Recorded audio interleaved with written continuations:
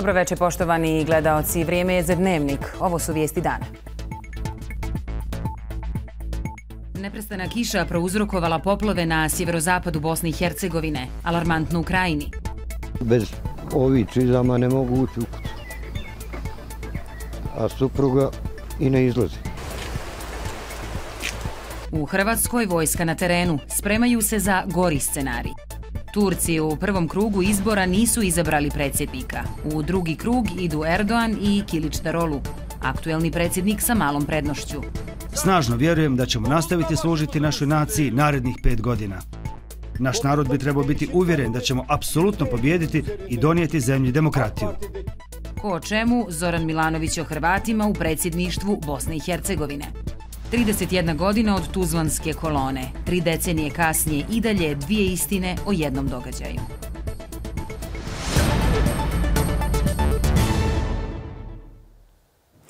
Prema posljednjim podacima Agencije za vodno područje rijeke Save u Federaciji Bosne i Hercegovine trenutno je vanredno hidrološko stanje na području slivova rijeka Une i Sane.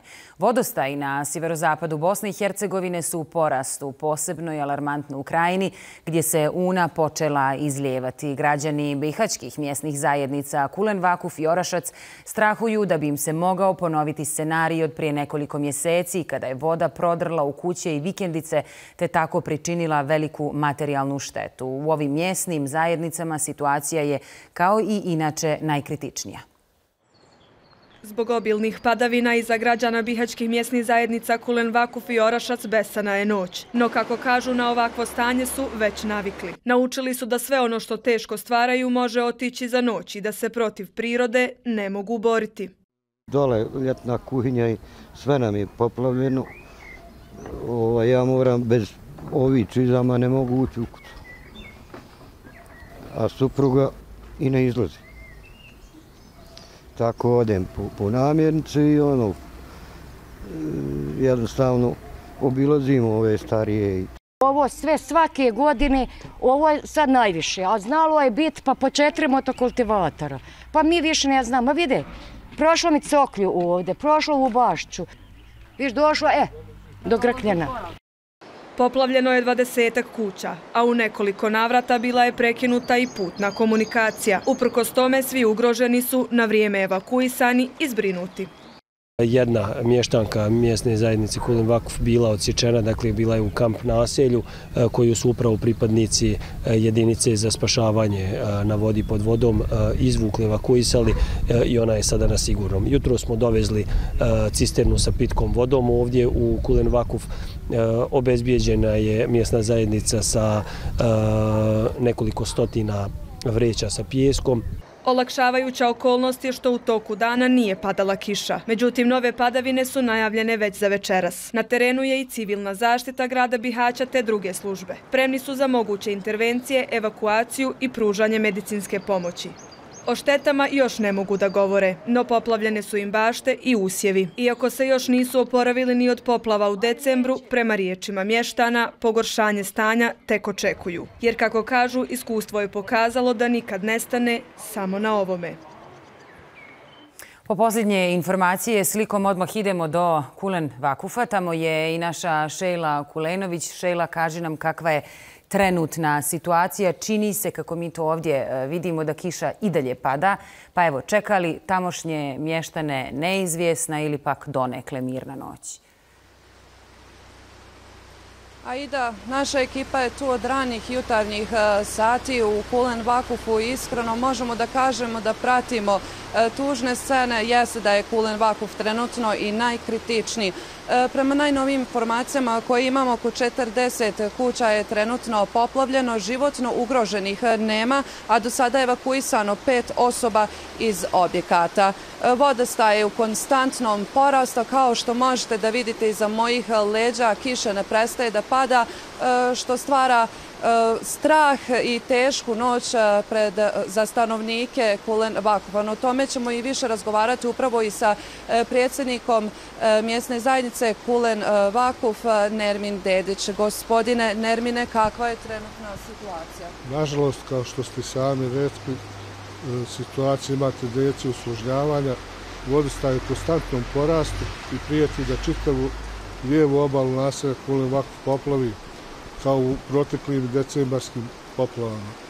Sami ste rekli da je 40 kuća već poplavljeno, e, pet lica je evakuisano zahvaljujući jedinici civilne zašte i našem rafti klubu. E, trenutno životni ugrožaj nemamo, međutim ono što nas najviše zabrinjava to je pojava klizišta. Imamo jedno klizište kod jednog stambenog objekta i on direktno ugrožava taj stambeni objekat. Također pojavilo se još jedno klizište na samom izlazu naselja Kule Vakvu uz putnu komunikaciju pa prijeti ugrožavanjem te putne komunikacije. Nažalost, još jedna besana noć. Nismo se oporavili ni od prošle poplave koja je bila u decembru prije nove godine. Evo, na stanovništvo je podzelo sa svoje strane mjere. Oni su već navikli, nažalost, na ove poplave. E, gradska uprava i mjestna zajednica također podzela sve mjere u našoj nadležnosti i kapacitetima kojim raspolažemo. Da li ste pripremljeni večera za mogući scenarij? Jesmo, imamo na raspolaganju dovoljne opreme, znači imamo čamce za raspolaganje, imamo ekipu spremne. Ovdje ću još istaći samo da imamo jednu ekipu kod doma za nezbrinutu djecu, koji također već je dvorište tog doma već poplavljeno, znači imamo i spremni smo za eventualne evakuacije. Također ste i u stalnom kontaktu sa civilnom zaštom grada Bihaća. Tako konstantno od jučerašnjih događaja smo u kontaktu. Riješili smo naravno ove odrone koje su bile sputne komunikacije. Danas je jedna skip mašina čistila i izvršila djelomičnu sanaciju kanala po odobrenju e, gradonačelnika i šefa civilne zaštite Bihaća i mi smo znači, podzeli sve u ovom momentu što možemo da olakšamo ove poplave. U redu, Nermine, hvala vam puno. Ono što još moramo da spomenemo da na terenu zajedno sa civilnom zaštom grada Bihaća jeste i SOS organizacija.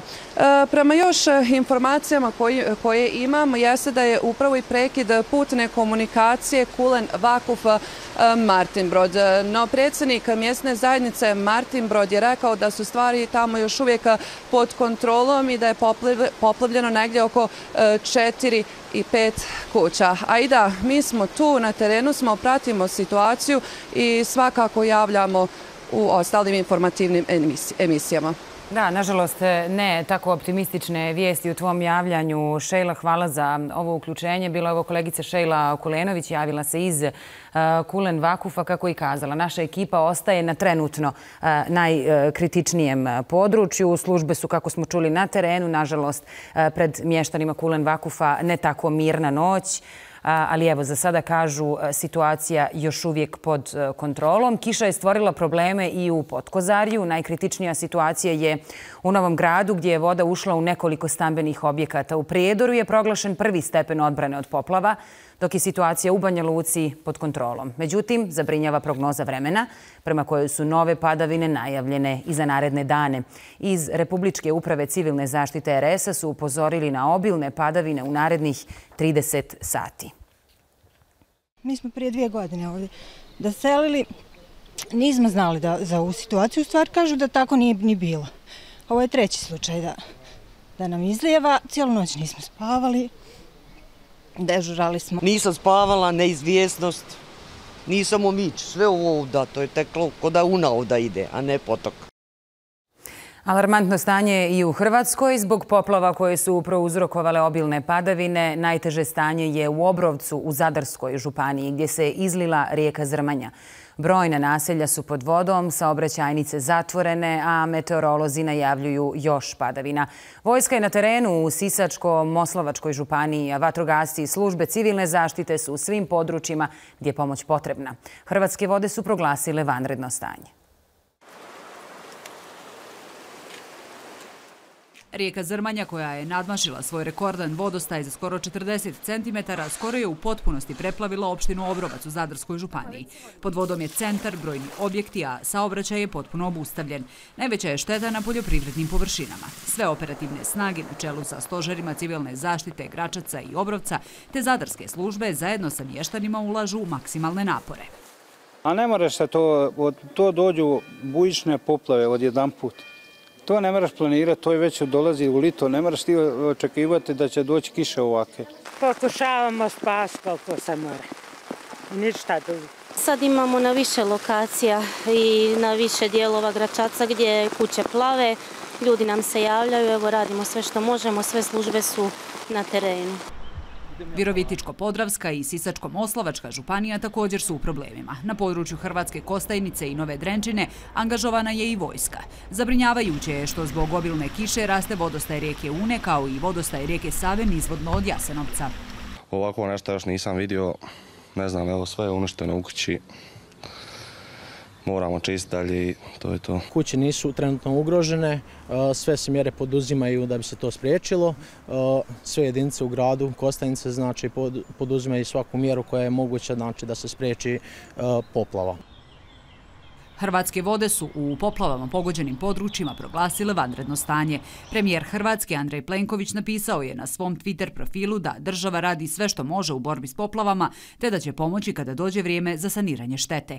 O procjeni štete je prerano govoriti jer je sada najvažnije zaustaviti dalja plavljenja i ispumpavati vodu. Situaciju dodatno otežava vremenska prognoza. Stiže još padavina, a vodostaj rijeka širom Hrvatske su u porastu i to još bržem nego u protekla 24 sata.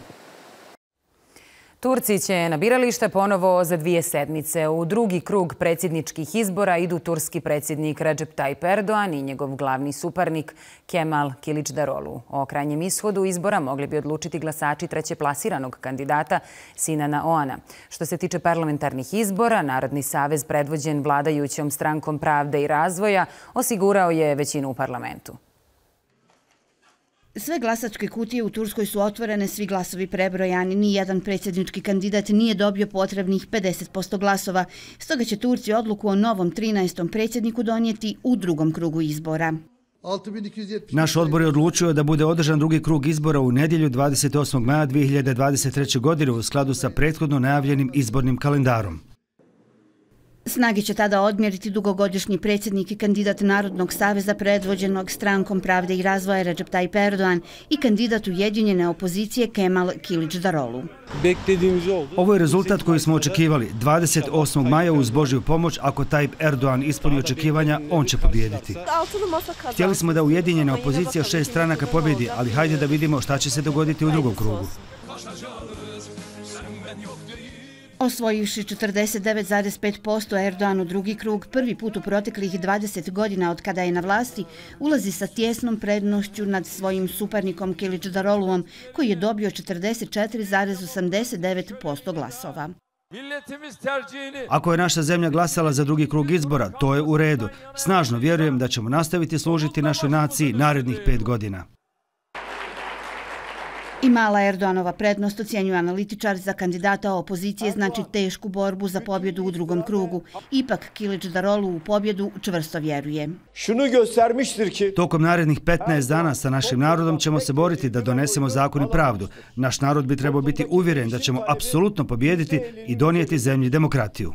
Za izbor novog predsjednika ključni će biti glasači treće plasiranog kandidata na predsjedničkim izborima Sinana Oana. Koga će podržati još nije poznato. On kaže da će odluku donijeti narednih dana. Sigurna sam da će Erdoğan pobjediti. Mislim da će dobiti glasove Sinana Oana.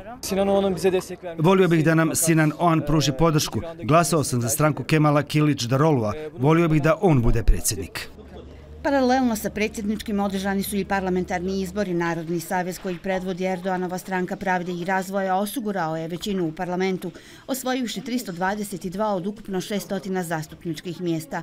Opozicijana koalicija Nacionalni savez koji učini šest stranaka, uključujući sekularnu republikansku narodnu stranku koju je osnovao Ataturk, ima 213 mandata. Novi saziv Turskog parlamenta činit će i 65 zastupnika Saveza rada i slobode. I dok još nisu poznati rezultati izbora u Turskoj, postavlja se pitanje kakva će u budućnosti biti saradnja između naše zemlje i Turske. Ekonomski stručnjaci podijeljenih mišljenja. Jedni su stava da će saradnja ostati dobra, kao i do sada, te ostavljaju prostora da bude još bolja, dok drugi smatraju da osim brojnih diplomatskih posjeta, Turska ni do sada nije imala značajne investicije.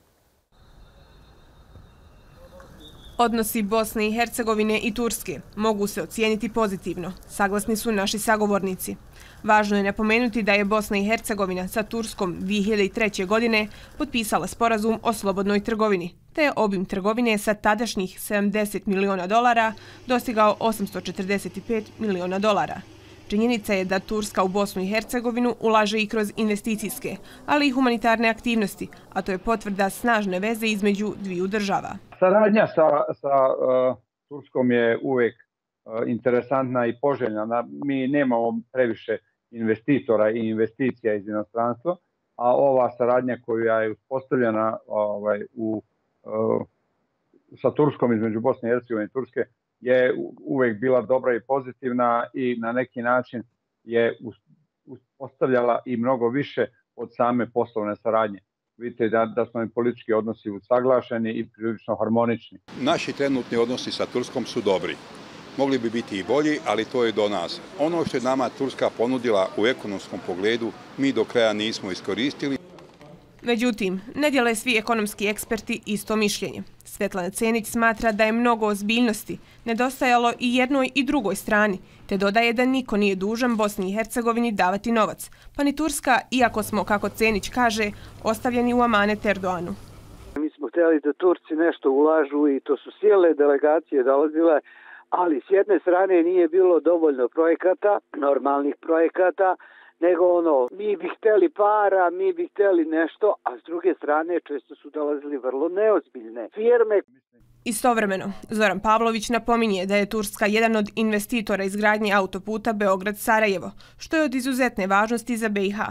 Pavlović dodaje da je pratio predizborni program Ređepa Tajpa Erdoana, te da njegov program maksimalno podržava. Mislim da ova, ovaj, da kažem, uspostavljeni nivo saradnje neće biti narušen bez obzira ko će biti Smatram da ćemo mi nastaviti uspješnu saradnju jer generalno historijski mi imamo dobre odnose na svim poljima i ne vidim razloga zašto ne bi tako se i nastavili u buduće. Evidentno je da BiH ima i prilike i potencijal.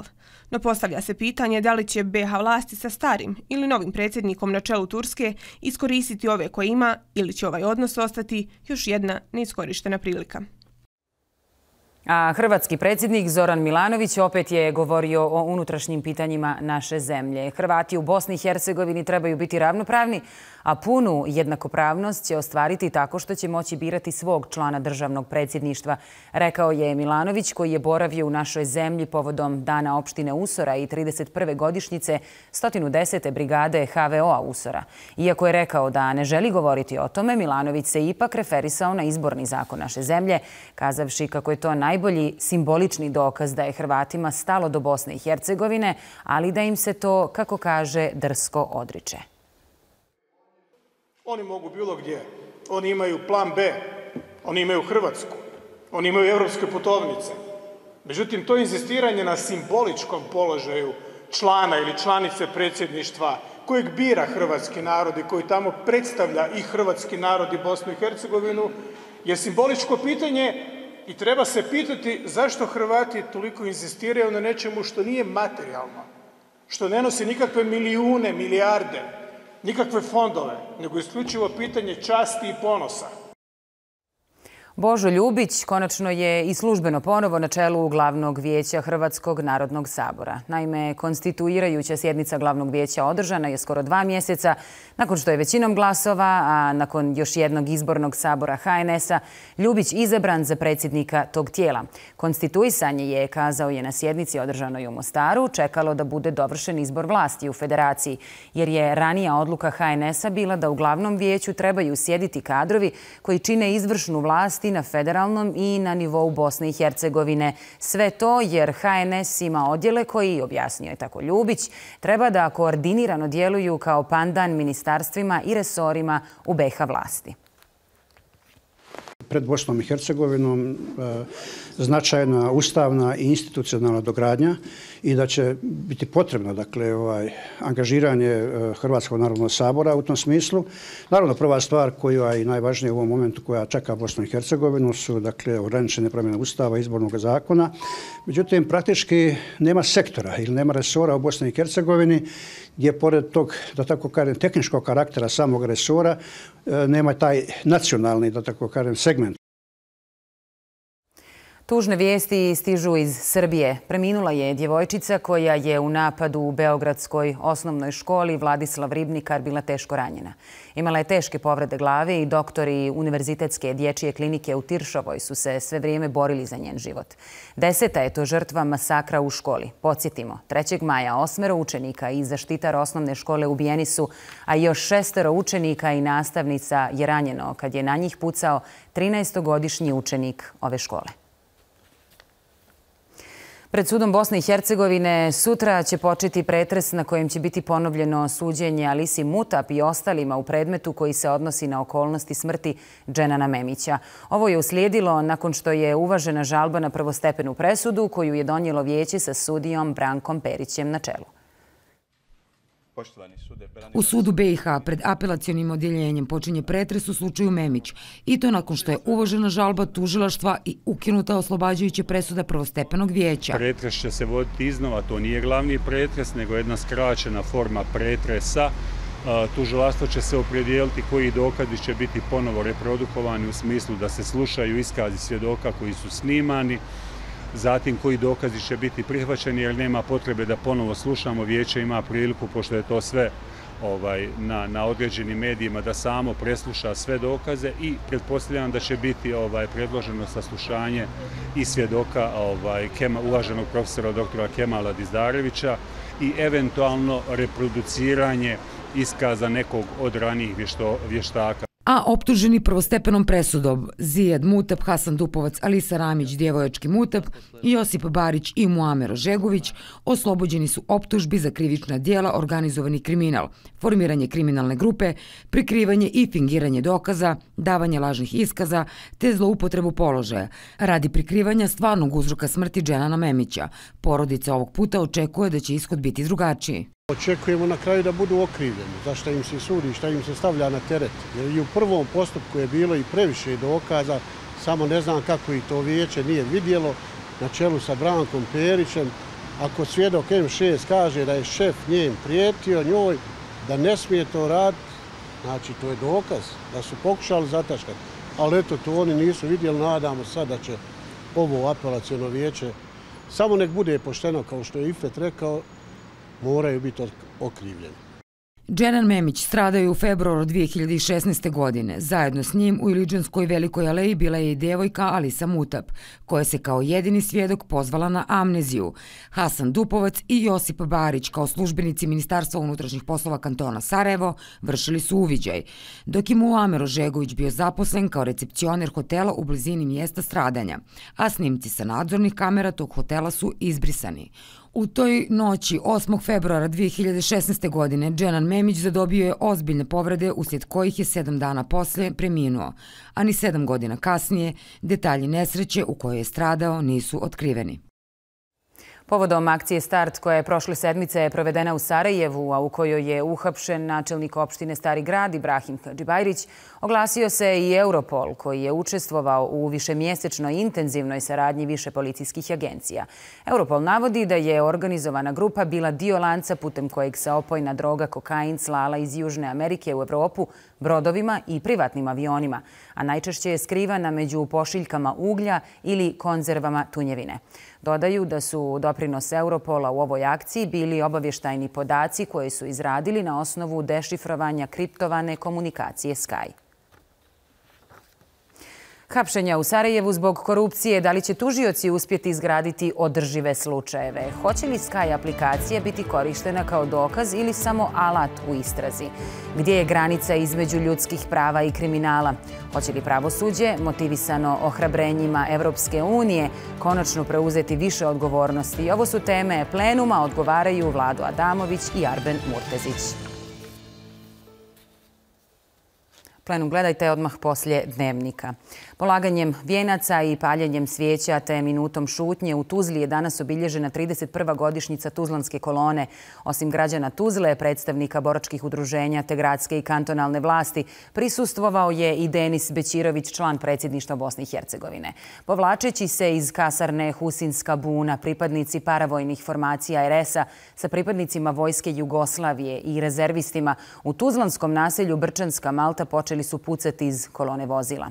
Pripadnici stanice javne bezbjednosti Tuzla na vatru su odgovorili prilikom čega je ubijeno 49 vojnika i rezervista te tri policajca i jedan civil.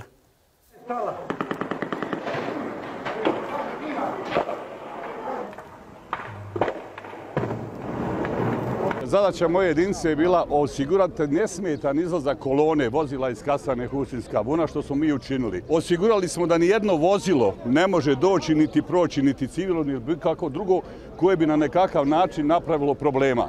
Mi smo to uspjeli, međutim druga strana nije imala namire da izađe kako treba izaći, da izađe normalno, nego evo, ispali su problemi u svezi toga. Mi nismo, znači, željeli rat, ali smo morali da budemo spremni za odbranu ovog grada ponosan sam na, na, na to što smo taj dan uspjeli odbraniti e, građane Tuzle od onog što im je bilo predviđeno, a znamo šta se prethodnih dana desilo u Bijeljeni, Vlasenci, Zvorniku i svim mjestima gdje su oni uspjeli u svojim planovima. Sedam godina kasnije u ime učesnika kolone pokrenute su tužbe protiv niza Tuzlaka u kojima ih se optuživalo za ratni zločin.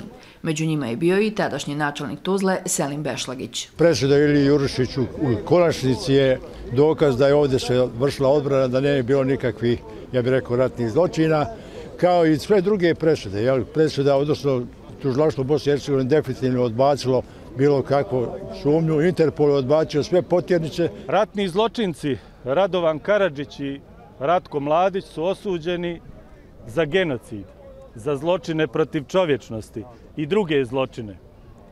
S druge strane, prvi čovjek Tuzle, Selim Bešlagić, je čak nominiran i za Nobelovu nagradu za mir. Tuzlaci u potrazi za pravdom i istinom i dalje najodgovornijeg za sukob smatraju Mileta Dubajića, tadašnjeg komandanta Tuzlanske kasarne, a braniteljima Tuzle su, nedaleko od mjesta događaja, nedavno posvetili novi spomen park a 31. godišnjicu Tuzlanske kolone obilježile su i porodice poginulih, ali i preživilih učesnika kolone iz Republike Srpske, kao i predstavnici gradske i entitetske vlasti. Nakon polaganja cvijeća, paljenja svijeća i parastosa na Brčanskoj Malti u Tuzli, okupljeni su odali počast stradalima u Bijeljini. Još jednom su pozvali pravosuđe da procesuira odgovorne. I apelujemo i ovaj puta da vlast Republike Srpske, Bosne i Hercegovine, tužilaštvo, sudovi rade svoj posao. Nas svjedoka ima more gdje ne bi smjelo da se ovaj slučaj zatačkava. Absurd je što do sad nije procesuiran. Znači, absurd je što istraga do sada nije dala nikakve rezultate, što nije podignuta optužnica, što se ne zna ko su nalagodavci, ko su neposredni izvršioci. Toliko u dnevniku, poštovani gledaoci. Jedina Sućeska u nastavku ima novosti sa sportskih terena. Vama hvala na pažnje i doviđenje.